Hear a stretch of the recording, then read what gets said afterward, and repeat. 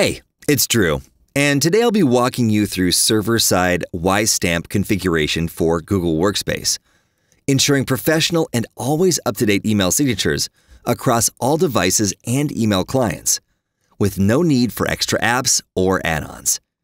Before you begin, make sure you've integrated Google Workspace app with WiseStamp. If you haven't done this already, you can follow along our how to videos and Help Center articles on each of these steps. Now that you're ready for the next step, let's begin by starting the WiseStamp connector wizard. This wizard guides you through the Google Workspace configuration to support WiseStamp's server-side solution. From the panel on the left, click Connectors. In the server-side section, click Connect, and then select Google Workspace. You'll then see a list of your domains. Select the domains that you want to integrate with WiseStamp and click Connect. Now you'll get this pop-up letting you know that you need to continue the configuration using the Google Workspace Admin Console. It also includes the routing code required for the configuration. Click the copy icon to copy the routing code. You'll be using this code a couple of times throughout this process. Now, for our next step.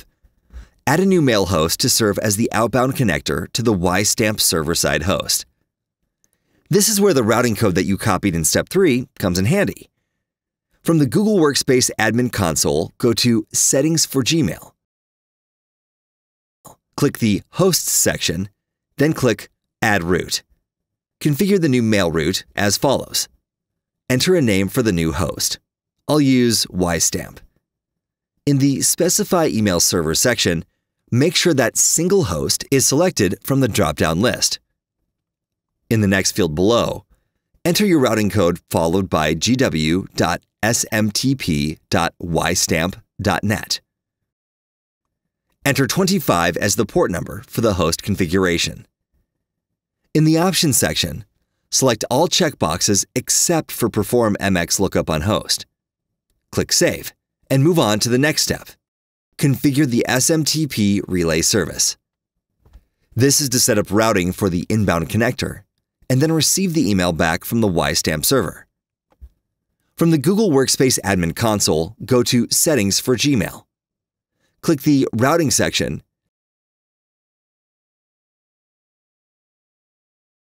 and go to the SMTP Relay Service section. Click Add another rule or Configure. Now you will enter a description for the service, for example, receive from WiseStamp click the Allowed Senders drop-down list and select Only Addresses in My Domains. In the Authentication section, select Only accept mail from the specified IP addresses. Click Add. Here you'll get a pop-up where you'll do the following. For each IP address, enter a unique and relevant description. For this example, I'll use WiseStamp IP1, WiseStamp IP2, and so on, up to WiseStamp IP7. Then individually input these IP addresses. You can copy-paste them directly from our Help Center article on this topic. Now click Enable, then Save. Navigate to the Encryption section. Select Require TLS Encryption, then click Save again. Moving on to our next step. Configure the compliance rule. From the Google Workspace Admin Console, go to Settings for Gmail.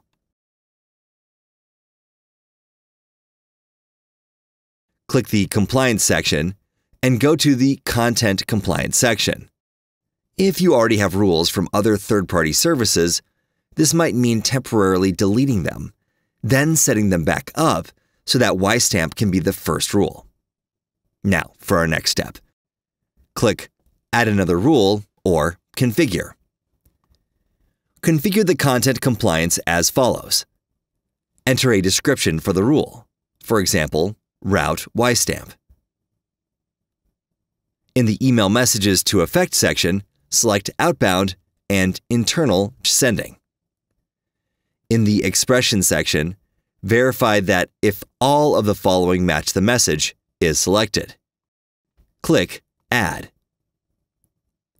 In this pop-up, select Advanced Content Match from the drop-down list. Configure the following settings. For location, select Full Headers. For match type, select Not Contains Text. And for content, copy and paste this text, which you can find in our Help Center article. Click Save. Now click Add again. Select Advanced Content Match and create a rule with the following settings. For location, select Full Headers again, and then set Match Type to Not Matches Regex. Then, for content, copy-paste this text, and click Save. Click the If the above expressions match drop-down list, and select Modify Message. In the Headers section, select Add Custom Headers and click Add. In this pop-up, create a header with the following parameters. Header key. Copy this text. Header value. Paste the WiseStamp routing code here. Click Save. In the Route section, select Change Route. Click the Normal Routing drop-down list and select the outbound connector route that you created earlier. In the Encryption section, select Require Secure Transport. Click Save. Now that you have completed all configurations on Google Workspace, you're ready for Step 8, where you finish the WiseStamp Connector Wizard. Great job! Navigate back to the WiseStamp Connector Wizard and click Connect to finish the wizard. This is the management page for this connector where you can do more configurations and see its current status. Now you can perform a validity check by simply sending a test email. You should see your professional email signature at the bottom of your email. Looks great! Remember that once you start using the server-side solution, and you're not in hybrid mode, you won't see your WiseStamp signatures during email composition or on emails in the sent folder but you can rest assured that your recipients will see them, and they will be impressed. For more information on post configuration, check out the next video in this server-side Google Workspace configuration mini-series. Thank you for choosing WiseStamp to generate and manage your professional email signatures.